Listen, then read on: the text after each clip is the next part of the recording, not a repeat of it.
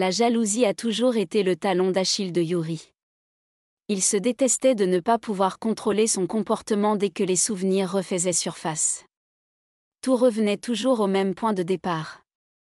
Encore une fois, Yuri était jaloux d'Alena, bien que plus de dix ans se soient écoulés depuis leur séparation.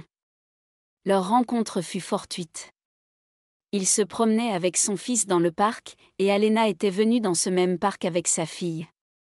La petite fille avait presque dix ans, et son fils n'était plus jeune que d'un an. Après leur séparation, Alena et Yuri avaient rapidement refait leur vie. Ils avaient eu leurs propres enfants. Mais les sentiments qui bouillonnaient en Yuri ne le quittaient pas un seul jour. Il avait toujours aimé Alena et continuait de l'aimer, malgré le temps écoulé. C'était probablement l'unique amour de la vie de cet homme, un amour qu'il ne pouvait pas laisser partir. Salut. Elle le salua poliment et lui sourit même en voyant Yuri il ressentit une piqûre douloureuse qui fit immédiatement battre son cœur plus vite. Elle lui sourit, et c'était tellement important pour lui. Peut-être qu'Alena ne lui en voulait même pas? Bonjour, Alena, répondit Yuri, avant de porter son regard sur la fille d'Alena, qui était son portrait craché. Et salut à toi, Nika. Bonjour, monsieur Yuri. La petite fille le salua avec autant de politesse que sa mère puis elle ne quitta plus des yeux le fils de Yuri. Comment allez-vous? demanda Yuri, maintenant en s'adressant à Alena. Et soudain, il se sentit frappé par un coup de tonnerre. Alena avait d'un ventre rond, elle attendait un enfant. Eh bien, tu as déjà deviné. Alena sourit de nouveau, et cette fois son sourire était doux et large. Elle était heureuse de sa situation, tandis que Yuri, lui, ne se sentait pas à l'aise. De combien de mois? Peut-on déjà te féliciter? Oui, Yuri, on peut. Mais Nelly ne m'a rien dit à ton sujet, dit Yuri, déçu. Comme si le fait de savoir que la femme qu'il aimait était enceinte par quelqu'un d'autre, et non par sa femme, changeait quelque chose. Nelly ne sait rien, répondit calmement Alena. Très peu de gens sont au courant il devient simplement de plus en plus difficile de cacher ma grossesse. Je vois. Toi et Peter, vous gardez toujours tout secret. Vous cachez votre bonheur de tout le monde. Cette fois, Yuri ne put contenir le ressentiment dans sa voix, mais il réalisa soudain que son comportement semblait stupide. Il n'était pas une personne insignifiante dans la ville pour se sentir aussi mal à l'aise, même en présence de son ancien amour. Mais Alena était terriblement attirante. Malgré le fait qu'elle était enceinte, et enceinte d'un autre homme qui était et restait son mari. Elle continuait d'attirer Yuri, comme si un aimant invisible était installé quelque part en elle. Nous n'avons rien à cacher, Yuri. Alena sourit, puis lâcha la main de sa fille. Nika se précipita aussitôt vers les attractions, et le fils de Yuri, Léonide, la suivit. Étonnamment, les enfants d'Alena et Yuri étaient amis, comme s'ils étaient frères et sœurs. Rien à cacher? Alors pourquoi as-tu gardé le secret jusqu'au bout? Pourquoi as-tu accouché dans une autre ville et y es-tu resté jusqu'à ce que ta fille ait un an? Alena baissa légèrement la tête, comme si elle étudiait les expressions de Yuri, qui peinait à dissimuler son mécontentement et ses tentatives de la prendre en flagrant délit de mensonge. Ce n'étaient pas des tentatives de cacher son bonheur. Je ne voulais tout simplement pas que des rumeurs circulent en ville. Tu te souviens parfaitement de la façon dont nous nous sommes séparés. Je savais très bien que ma sœur avait un faible pour toi, qu'elle voulait t'épouser. En plus, tu t'es marié avec elle si rapidement que, en principe, je n'avais même pas besoin de me cacher de toi. Oh que si, tu en avais besoin. Ces mots, Yuri voulait les prononcer, mais il se retint. Si Alena et Peter n'avaient pas quitté la ville à ce moment-là, ne s'étaient pas cachés ailleurs, Yuri les aurait certainement trouvés, et ce dont il aurait été capable dans un élan de jalousie. Dieu seul le savait. Cette année où Alena a vécu avec son mari ailleurs a aidé Yuri à reprendre le contrôle de lui-même, à surmonter la colère et la jalousie bouillonnante, et même à épouser Nelly et à avoir un enfant. Tu sais pourquoi j'ai épousé ta sœur. Et c'était aussi vrai. La ressemblance physique entre Alena et Nelly était la principale raison pour laquelle Yuri avait épousé la sœur d'Alena. Nelly était un peu plus jeune, mais elles avaient les mêmes traits de visage, des cheveux roux flamboyants, des yeux bleus vifs dans lesquels on pouvait se noyer. Bien sûr, Nelly était complètement différente, elle était très différente de sa sœur aînée. Mais elle ressemblait beaucoup à Alena, ce qui rendait la vie de Yuri plus facile. De plus, Nelly l'aimait, vraiment dévouée, simplement parce qu'il faisait partie de sa vie. Elle ne demandait rien en retour, était en colère contre sa sœur parce qu'elle n'avait pas su apprécier la beauté de l'âme de Yuri, parce qu'elle avait choisi de se marier avec l'échec Peter, qui ne pouvait pas se comparer à Yuri. Tu le fais souffrir, tu ne comprends pas, demandait Nelly à Alena avec une indignation évidente dans la voix. Un homme comme lui t'aime, et tu lui fais du mal, et tu n'as aucune pitié pour lui. Tu te trompes, rétorquait Alena. J'ai de la peine pour Yuri. Mais pas parce qu'il m'aime sans réciprocité, mais parce qu'il ne sait pas se contrôler. Je ne suis pas non plus responsable d'aimer quelqu'un d'autre, on ne commande pas son cœur. Et Yuri fait tout pour rendre la vie de Peter insupportablement difficile.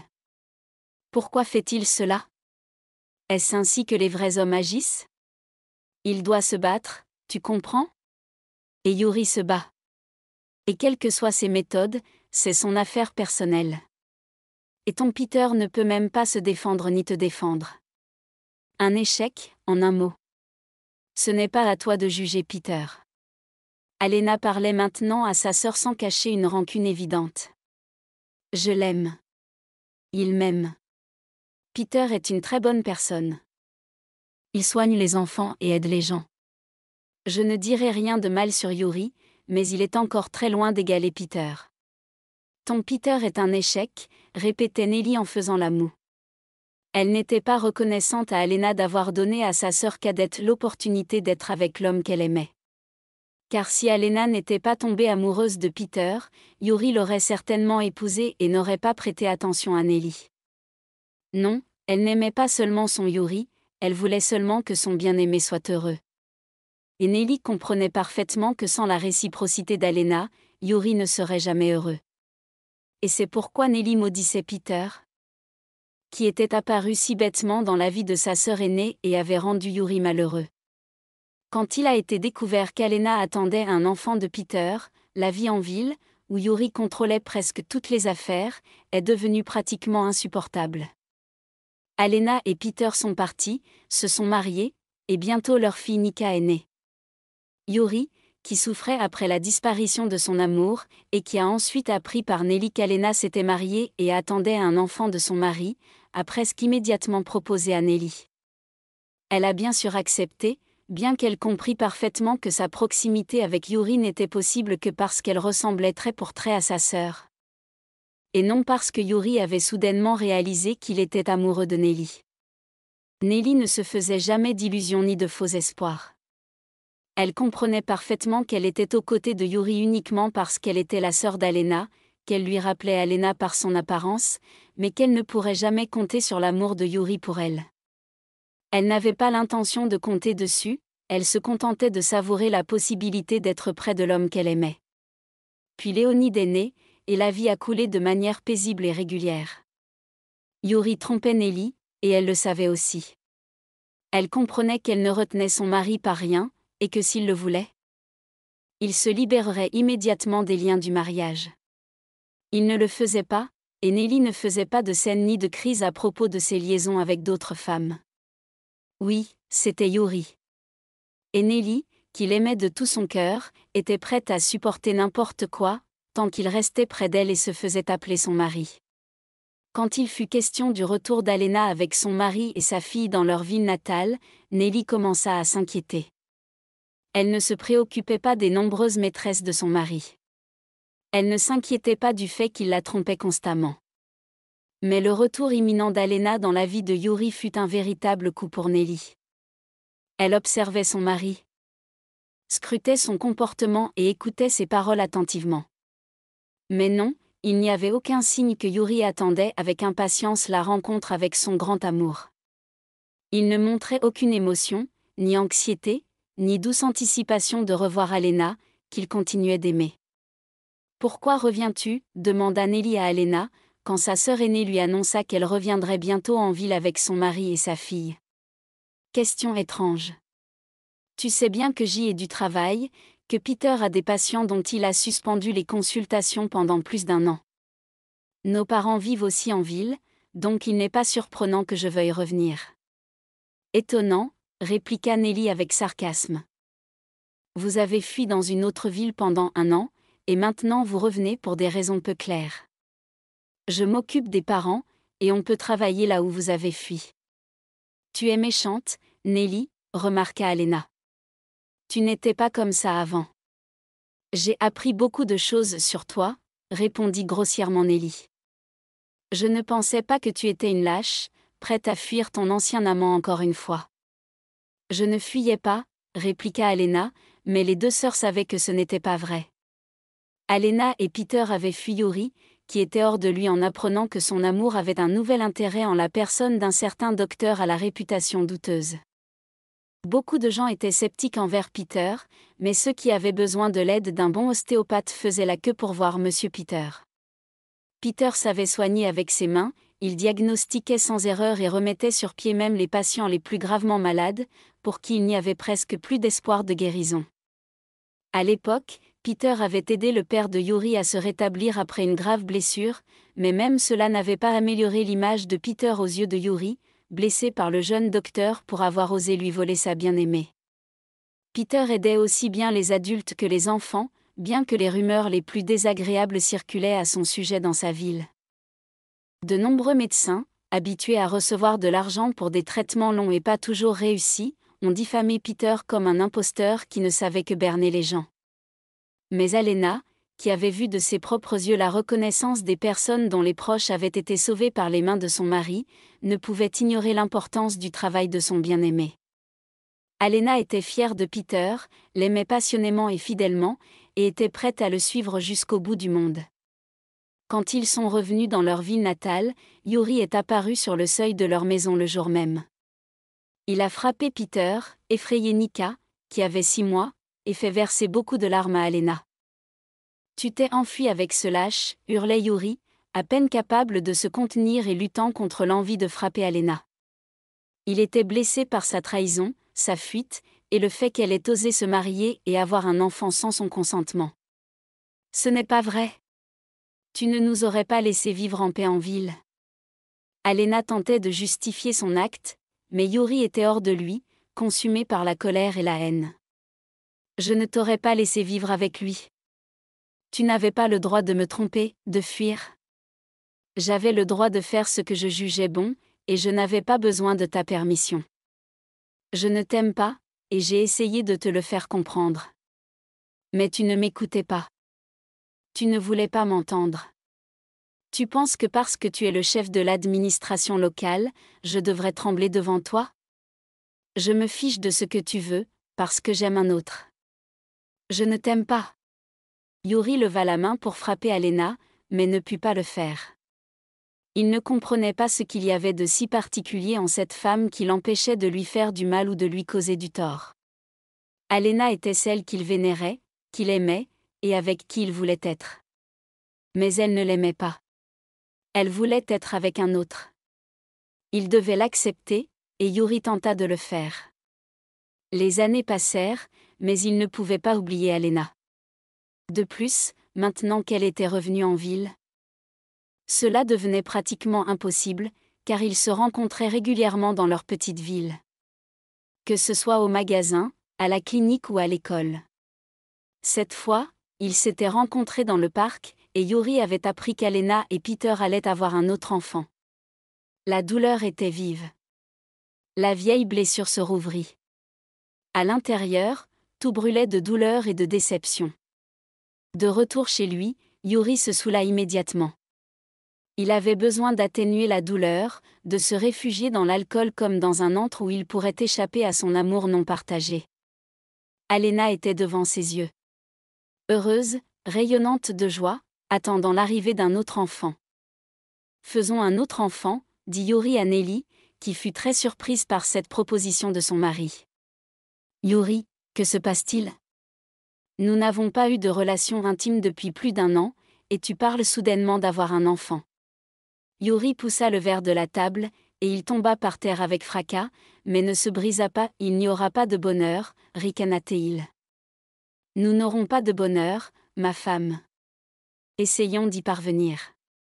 Fais-moi un autre enfant. Nelly s'assit en face de son mari, inclinant la tête sur le côté. Es-tu sûr de ta décision? Sûr. Je veux un enfant.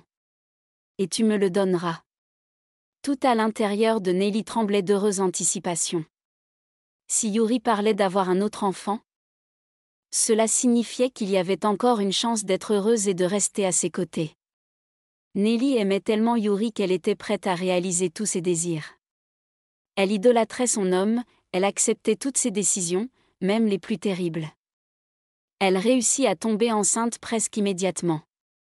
Alena donna naissance à une fille, et six mois plus tard, Nelly donna à Yuri un autre fils. Les chemins des deux familles divergeaient de plus en plus, mais Yuri ne pouvait toujours pas oublier son amour pour la femme devenue l'épouse d'un autre homme. Dans sa famille, deux fils grandissaient, mais les rencontres avec Alena ne cessaient pas. Nelly ne communiquait pratiquement pas avec sa sœur aînée. Elle ressentait encore de la rancune envers Alena pour avoir fait souffrir Yuri, et Nelly ne pouvait pas pardonner cela, même à sa propre sœur. Malgré cela, les enfants des deux sœurs se rencontraient chez leurs grands-parents, parlaient entre eux, et même se liaient d'amitié. Maman, pourquoi tante Nelly ne t'aime pas? demanda un jour Nika, la fille aînée d'Alena. Sa mère la regarda avec étonnement, impressionnée par sa perspicacité. En effet, de l'extérieur, les deux femmes essayaient de faire croire que leur relation était parfaitement paisible, mais il était difficile de tromper les enfants. Pourquoi penses-tu cela? demanda Alena à sa fille. Nika venait d'avoir 13 ans. Elle essayait de comprendre beaucoup de choses qui restaient incompréhensibles même pour certains adultes. Vous ne parlez pas beaucoup, et quand vous le faites, tante Nelly te regarde toujours de manière étrange, comme si elle ne t'aimait pas. Moi, J'aime Anna, elle est ma sœur, non? Mais tante Nelly ne t'aime pas, et toi, tu ne l'aimes pas Alena se trouva désemparée, elle voulait répondre quelque chose de sensé à sa fille, mais ne trouvait pas les mots justes. Tu vois, dans toutes les familles, ce n'est pas toujours pareil, murmura Alena, regardant son mari avec inquiétude. Peter ne quittait pas Alena des yeux, craignant qu'elle ne dise quelque chose de déplacé à leur fille. Pas pareil, mais les frères et sœurs s'aiment. Moi, j'aime Anna, Alena aime Dimitri, et toi, tu aimes tante Nelly, mais elle ne t'aime pas. Alena était heureuse malgré ses relations tendues avec sa sœur cadette. Elle aimait Peter, adorait ses enfants, ses parents étaient vivants et en bonne santé, et ses neveux grandissaient et ne la traitaient pas mal malgré l'animosité de leur mère envers elle. Tout semblait paisible et harmonieux, et même le sentiment d'avoir autrefois trahi Yuri ne l'empêchait pas de vivre et de profiter de la vie. Tout changea en un instant. Avec son mari, Alena se rendait dans une ville voisine pour faire des achats, l'humeur était excellente. Les vacances approchaient, et elle voulait les passer en famille au bord de la mer. La petite Anna venait d'avoir 4 ans, et ses vacances devaient être les premières après de longues années passées à la maison à cause des fréquents rhumes de la cadette. Dans cette ville, la famille projetait d'acheter de nouveaux maillots de bain, des vêtements légers et d'autres articles pour des vacances parfaites au bord de la mer. La voiture est apparue sur la voie opposée comme sortie de nulle part. Alena n'a même pas eu le temps de comprendre quoi que ce soit quand un énorme camion a percuté leur voiture du côté où elle se trouvait. Sans reprendre connaissance, Alena est décédée. Tandis que Peter a survécu, pratiquement indemne.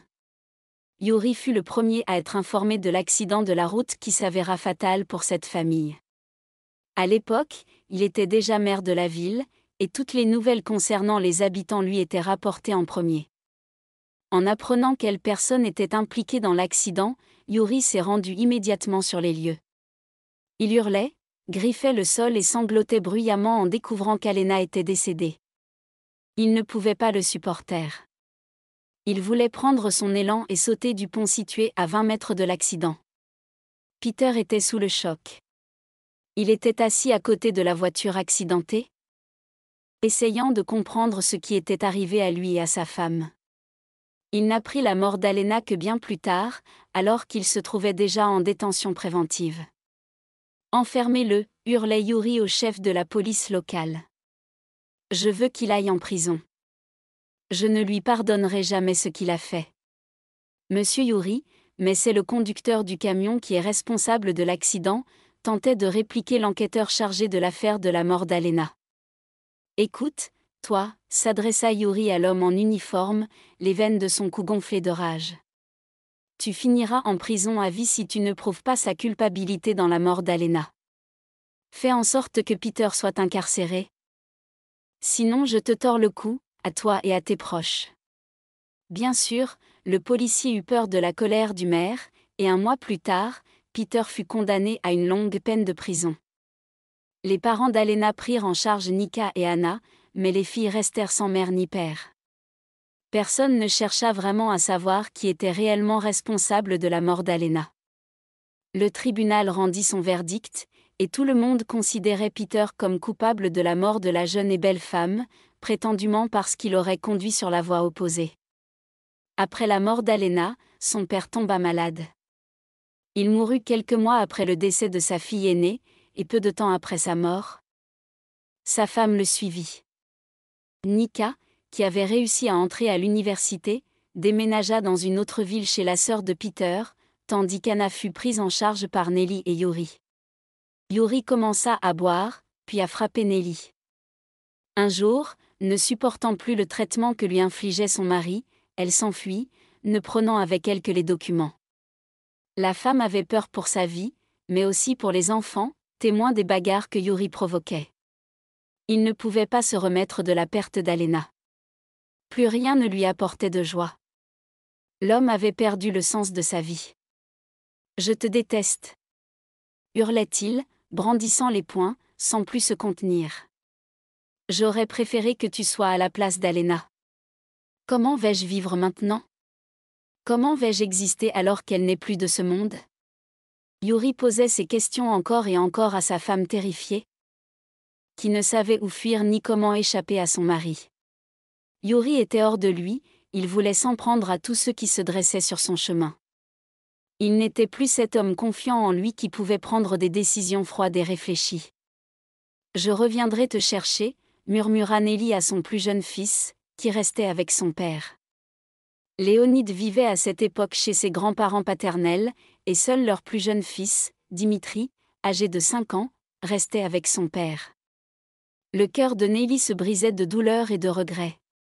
Elle trouvait si difficile de laisser son plus jeune fils avec son mari, mais elle ne voyait pas d'autre issue. Elle ne pensait même pas à sa jeune nièce.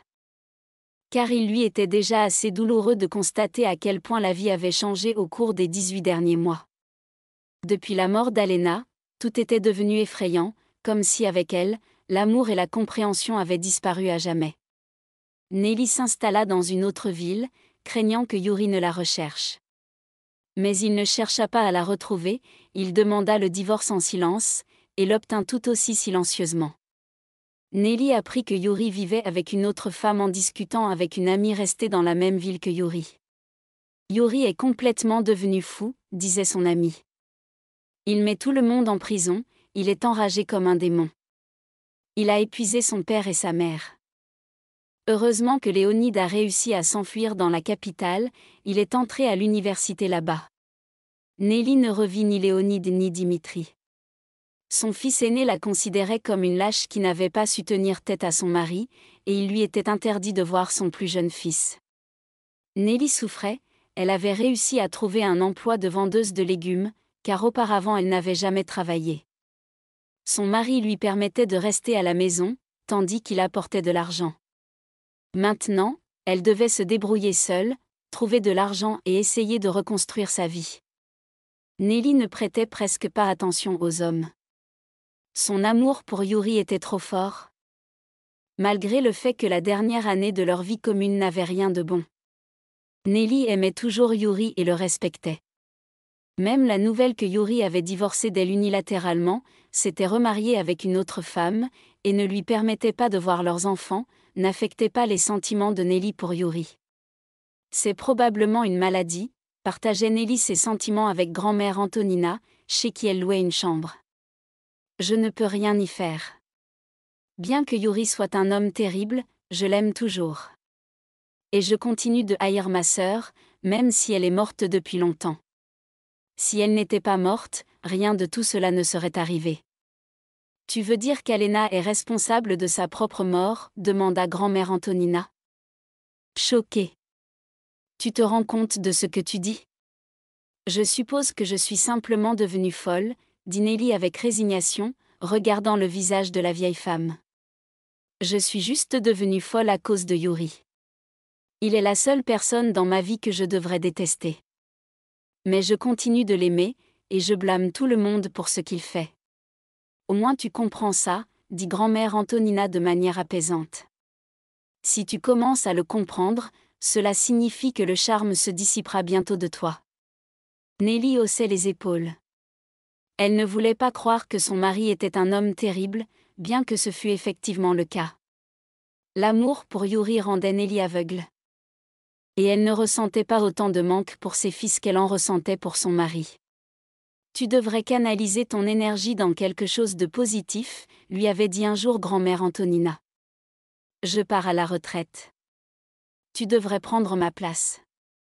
Va travailler comme femme de ménage dans un orphelinat. Être entourée d'enfants ouvrira ton cœur. Nelly réfléchit. Elle était habituée à vivre comme elle vivait.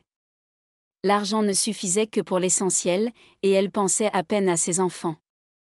De sa ville natale, elle apprit que la nouvelle femme de Yuri lui avait donné des jumeaux, et qu'il avait presque abandonné l'éducation de Dimitri. Le plus jeune fils de Nelly et Yuri venait d'avoir dix ans. Et Nelly pensait souvent à lui, se replongeant dans les souvenirs du passé.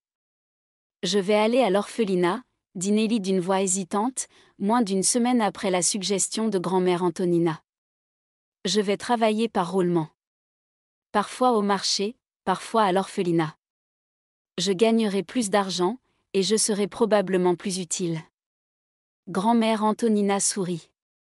Un mois plus tard, Nelly commença son nouveau travail et comprit que ses propres problèmes étaient insignifiants comparés à la douleur et au désespoir concentrés dans ce lieu terrifiant. Tant de vies d'enfants brisés rassemblés en un seul endroit, tant de larmes versées, tant d'espoir piétinés. Grand-mère Antonina, comment avez-vous fait pour travailler là-bas? demanda Nelly à sa logeuse en rentrant du travail. Il y a tellement d'enfants tristes, en manque d'amour et de tendresse, que c'est décourageant de réaliser que je ne pourrai aider personne. Tu vois? La vieille femme leva le doigt comme pour enseigner à Nelly.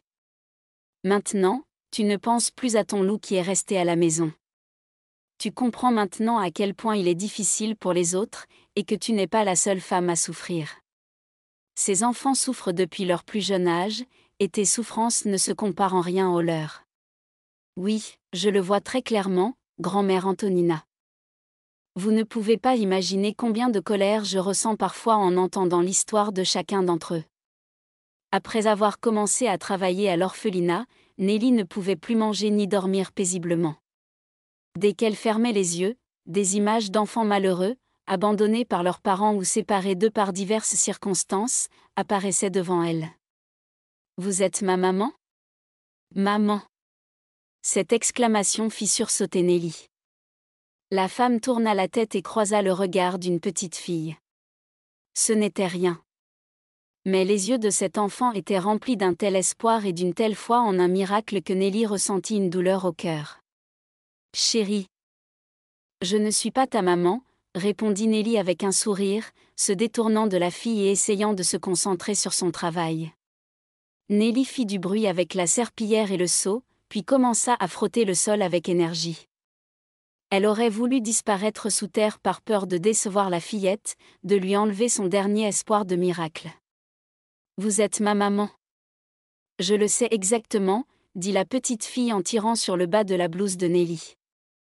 Comment t'appelles-tu? demanda doucement Nelly, comprenant qu'elle ne pourrait pas simplement se détourner et ne pas parler avec la fille. La petite était si déterminée à obtenir une réponse positive qu'il n'y avait pas d'autre option que de répondre. En regardant le visage de la fille, Nelly commença à s'inquiéter. Je m'appelle Anna. Attends, ne bouge pas. Nelly regarda la petite fille courir vers les chambres, tandis que son cœur battait de plus en plus vite. La vue se brouillait, ses mains tremblaient de terreur et de l'anticipation de ce qui pouvait arriver. Anna. Exactement. Le visage de la petite fille lui était familier. Plus de cinq ans s'étaient écoulés depuis leur dernière rencontre, mais les enfants changent si vite, c'était incroyable. La fille revint en courant, tenant des dessins dans ses mains. Ses yeux brillaient, et Nelly comprenait qu'elle allait voir quelque chose qui changerait sa vie pour toujours. Des dessins, le visage de sa sœur, décédée six ans plus tôt, lui souriait. C'était Alena, à côté de laquelle se tenait Peter en souriant. Bien sûr, les dessins d'enfants ne ressemblaient pas beaucoup à des photos de personnes vivantes, mais il n'y avait aucun doute. Nelly sentit les larmes monter à sa gorge. Elle l'étouffait, l'empêchant de regarder les dessins, et ses mains tremblaient traîtreusement. Je ressemble juste à ta maman, mais je ne suis pas elle, dit doucement Nelly en caressant la tête de sa nièce. Ce soir-là, elle était assise dans le bureau de la directrice, lisant les dossiers d'Anna. Mère décédée, père en prison, le tuteur avait renoncé à la garde. Oui, c'était bien la signature de Yuri, qui avait sans scrupule placé Anna dans un orphelinat immédiatement après la fuite de Nelly. Il n'avait pas pu élever l'enfant d'un autre. Que dire, il ne souhaitait même pas élever son propre enfant. Il fallait agir rapidement. Nelly fit le tour de toutes les instances, prouvant son lien de parenté avec Anna, mais partout on lui posait la même question. Pourquoi voulez-vous de cette fille alors que vous pouvez à peine vous nourrir?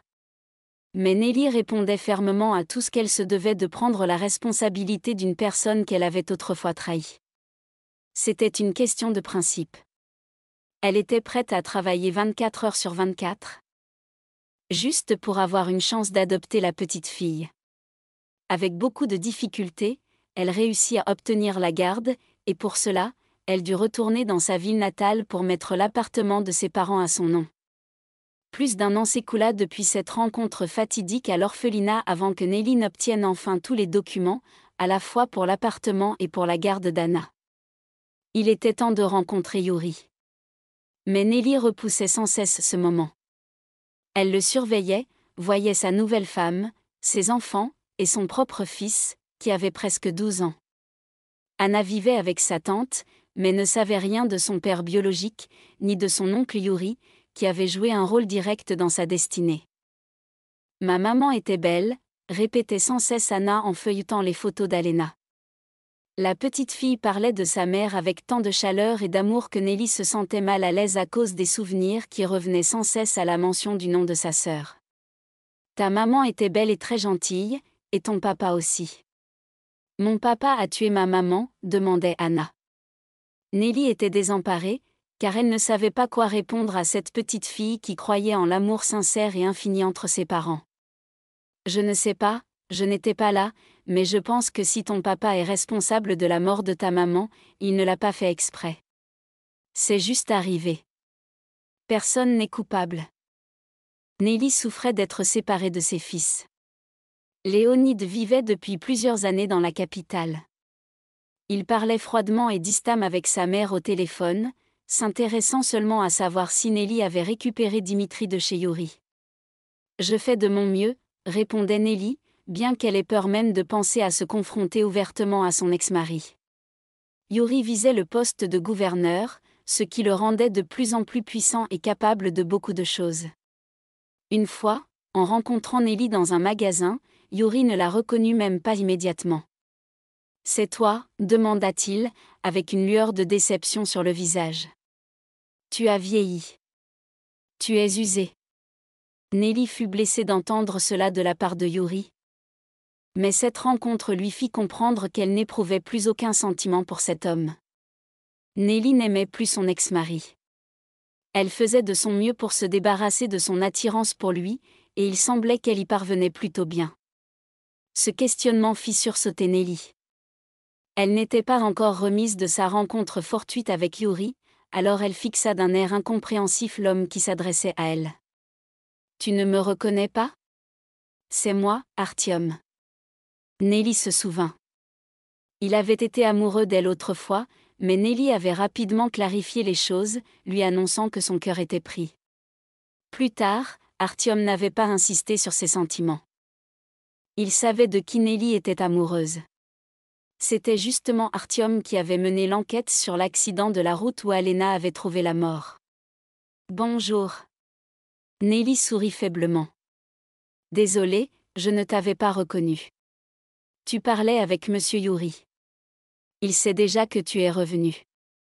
Apparemment, oui, mais il s'en fiche. Moi, par contre, non. Et j'ai quelque chose à te dire.